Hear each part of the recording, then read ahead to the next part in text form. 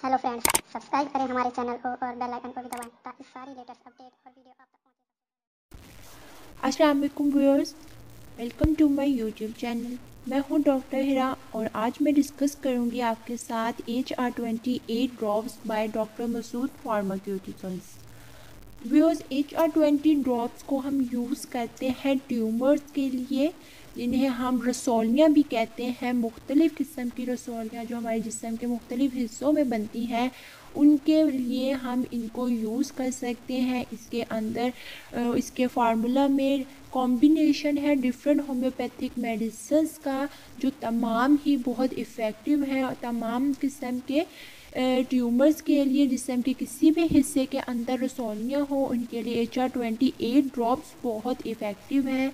सबसे पहले हम बात कर लेते हैं ट्यूमर्स के लिए कि ये होते क्या हो और किस तरह बनते हैं।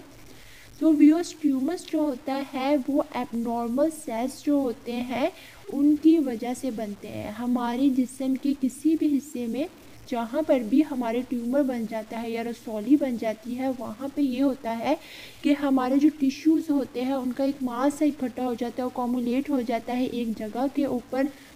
वहाँ पे हमें रसौली बनी दिखाई देती है। तो वो जो टिश्यू डैमेज टिश्यूज़ होते हैं, वो इकट्ठे होने से जिनकी वजह से रसौलियाँ बन जाती हैं ट्यूमर्स बन जाते हैं एक्चुअली उनके अंदर एबनॉर्मल सेल्स अकोमुलेट हो जाते हैं और ये जो एबनॉर्मल सेल्स होते हैं, ये ही मेन कॉज होते हैं ट्यूमर्स के, रसौलियों के लिए।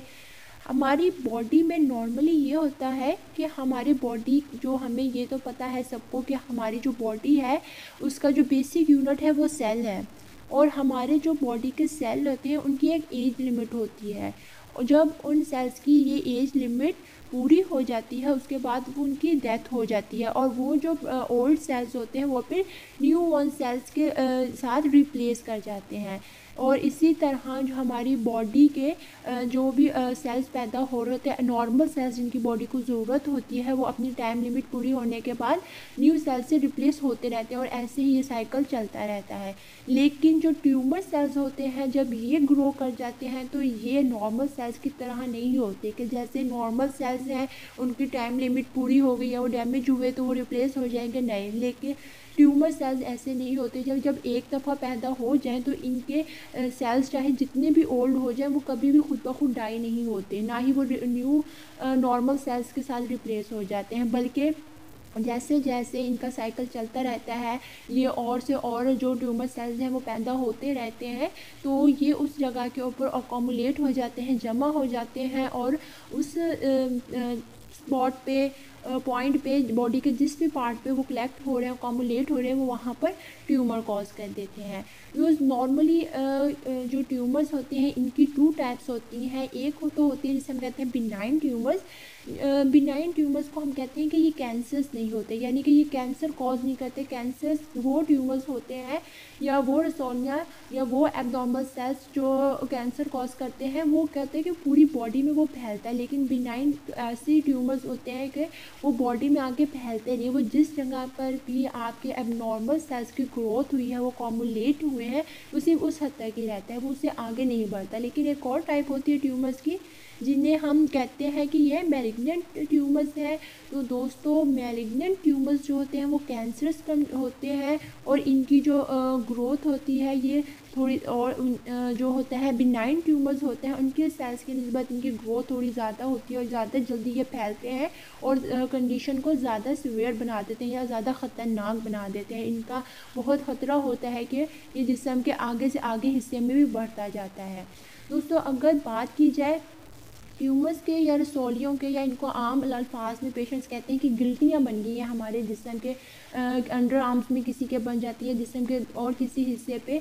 तो इनकी भी कुछ वजूहत होती हैं जिनकी वजह से ये बनते हैं। इनकी मुख्तलिफ़ होती है वजूहत। जैसे हम ये कह लें कि कुछ लोगों के अंदर निज़ाम हज़म जो होता है, हम जो खुराक खाते हैं, उसको हज़म करने का जो अमल होता है, उसके अंदर ख़राबी अगर आ जाए तो ये भी एक गिल्टियों की या रसौली बनने की वजह हो सकती है। इसके अलावा जो हमारे गदूत होते हैं, हमारे ग्लैंड्स होते हैं, उनके अंदर कोई नॉर्मेलिटी आ जाए या वो बढ़ जाए तो उसकी वजह से भी हमें ट्यूमर्स बन सकते हैं, रसौलियाँ हमारे हो सकती हैं या फिर जो हमारी ब्लड सर्कुलेशन है, जिसे हम दौरान खून कहते हैं, अगर वो प्रॉपर ना हो, उसमें कोई भी रुकावट आ रही हो तो वो भी हमारे जिसम में रसोलियाँ या गिल्टियाँ बनने की वजह बन सकती है। इसके अलावा अगर किसी पेशेंट को स्किन कैंसर रहा हो तो उसकी साइड इफ़ेक्ट्स के तौर पर भी जिसम के अंदर हमारे रसोलियाँ बन सकती हैं, ठीक है? तो मुख्तलिफ़ वजूहत हैं जो रसोलियों के सामने आती हैं।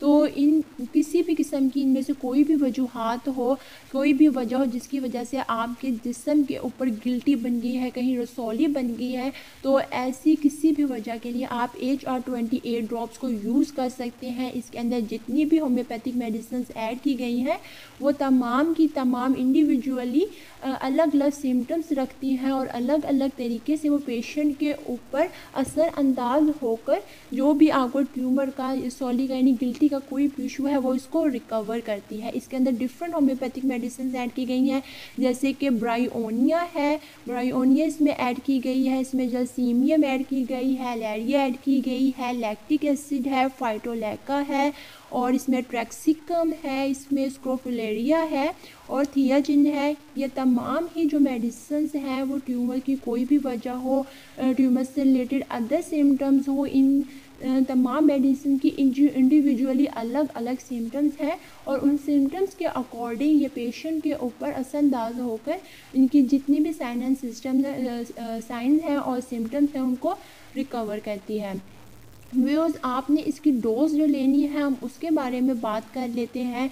तो आपने H R twenty eight drops को पानी के साथ इस्तेमाल करना है। फ्रेश वाटर होना चाहिए। आप इसे यूज़ करेंगे दिन में चार दफ़ा की आपने रूटीन बना लेनी है। चार दफ़ा आपने इसे दिन में यूज़ करना है, करना क्या है कि हाफ़ कप आपने पानी ले लेना है, उसके अंदर ट्वेंटी ड्रॉप्स आपने H R twenty eight drops के ऐड कर देने हैं और उसके बाद उसको पी लेना है। लेकिन एक बात का आपने ध्यान रखना है कि जब भी आप होम्योपैथिक मेडिसिन यूज़ करें वो चाहे किसी भी कंपनी की हो, किसी भी ब्रांड की आप यूज़ कर रहे हो, आपने हमेशा मेडिसिन की आप जो भी डोज ले रहे हैं, किसी भी टाइम ले रहे हैं। आपने उसे लेने से पहले अच्छी तरह पानी से कुल्ली कर लेनी है। ब्रश यूज़ कर ले, ज़्यादा बेटर है। पर लेकिन ब्रश आप अगर कर रहे हैं तो आपने इस बात का ध्यान रखना कोई भी टूथपेस्ट या कोई भी टूथ ब्रश करने के लिए जो पाउडर यूज़ करते हैं, वो कोई चीज़ आपने यूज़ नहीं करी। सिंपली पानी से कुल्ली करके आप ब्रश फेर लें और या फिर सिर्फ़ जस्ट आप कुल्ली कर लें तो वो भी दैट इज़ इनफ ठीक है?